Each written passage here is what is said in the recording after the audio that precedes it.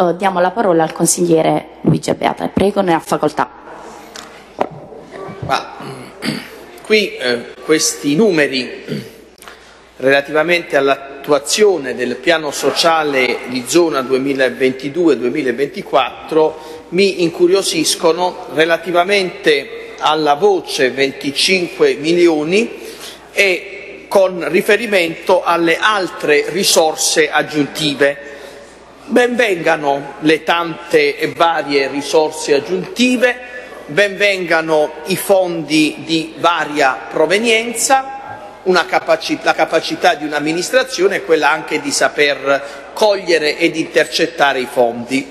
E parlando di fondi, l'occhio cade, scusate, forse una mia deformazione professionale, chiamiamola e chiamatela così, ai fondi ex Silva, perché quando io sento fondi ex Silva mi si addrizzano quei pochi peli in testa che mi sono rimasti. Se consideriamo come sono stati usati i, i fondi ex Silva a mio avviso scialacquati eh, durante il periodo eh, natalizio perché quei fondi che dovevano servire come ristoro per, disastro, per, i disastri ambientali e sociali provocati dalla grande industria assassina di ex Silva prima e Acciaierie d'Italia oggi, industria assassina, criminale,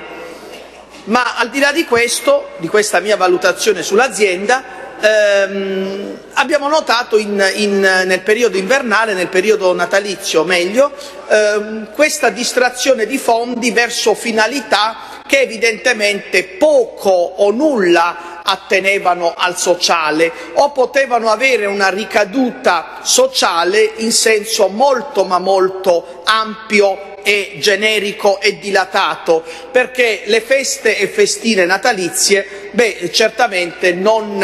ehm, non, danno, non danno, ristoro appunto ai tarantini per il disastro ambientale. Se poi si considera che quasi tutti gli eventi eh, finanziati attraverso i fondi ex Silva hanno avuto la loro realizzazione, la loro location paradossalmente in aree che non erano certamente il quartiere Tamburi, beh a questo punto io vorrei sapere la finalità, come vengono gestiti questi fondi ex Silva, perché se noi li chiamiamo fondi ex Silva dovrebbero avere una come dire, destinazione vincolata rispetto al ristoro ambientale e sociale. Non certo possono essere, come dire, eh, distratti ed indirizzati verso altre eh, finalità attinenti allo, allo spettacolo, ma eh, al divertentismo quasi,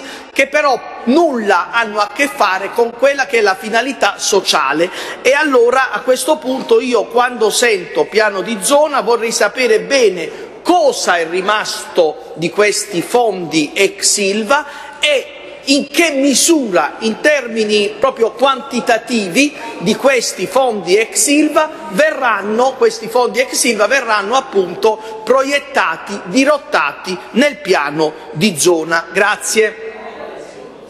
Grazie a lei, consigliere Luigi Abate.